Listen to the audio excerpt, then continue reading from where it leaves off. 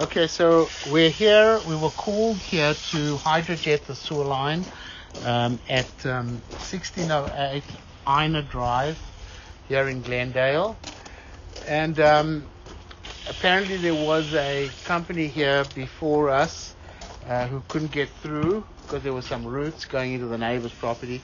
Well, apparently we were here maybe three years ago where we hydrojetted the line.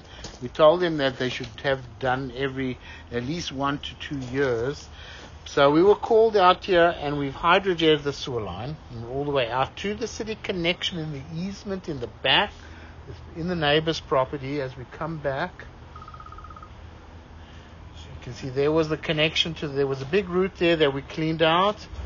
There was a root over here coming in that we've cleaned out. Those were the heavy roots.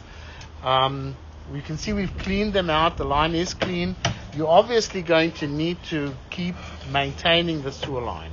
Come back to ABS plastic over here. Back to a little piece of clay pipe. So the line is, is nice and clean now. Uh, you have to maintain it with periodic cleaning for sure. And uh, there we are by the clean out and we've cleaned the line.